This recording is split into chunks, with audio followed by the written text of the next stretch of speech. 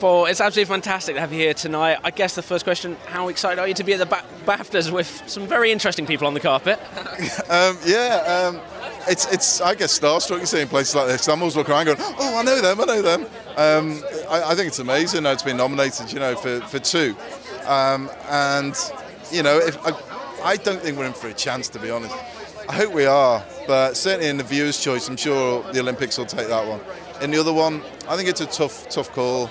Um, but we had a BAFTA last year, so it's only fair somebody else has one. Of course, the series has just been embraced by people all across the nation. Why do you think people have got so excited about this show in particular?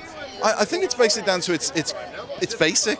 You know, people have all the ingredients normally in their store cupboard to go and bake something. If you're trying to cook, you have to go out and specifically look for something, but not with Bake Off. You've got something in there which which you can use. You know, um, so I think it's just it's it's simplicity is its key.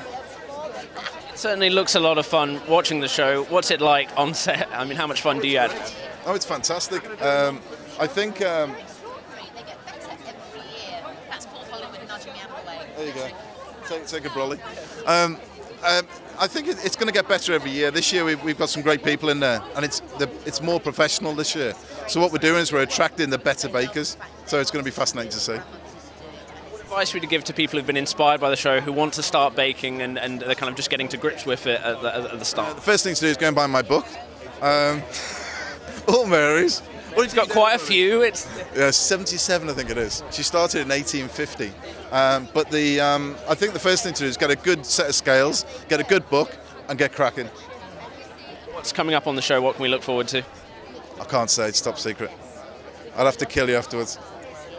Question: Baking is starting. Well, you wouldn't know it, but it's starting to get towards summer. What would be your top summer treat that people should be going out and making for themselves? I think they should go out and start making some bread for themselves. Some great little rolls you can take out on picnics, some pork pies, some quiche, and just take all the kids out and get them to make it as well. They'll thoroughly enjoy it.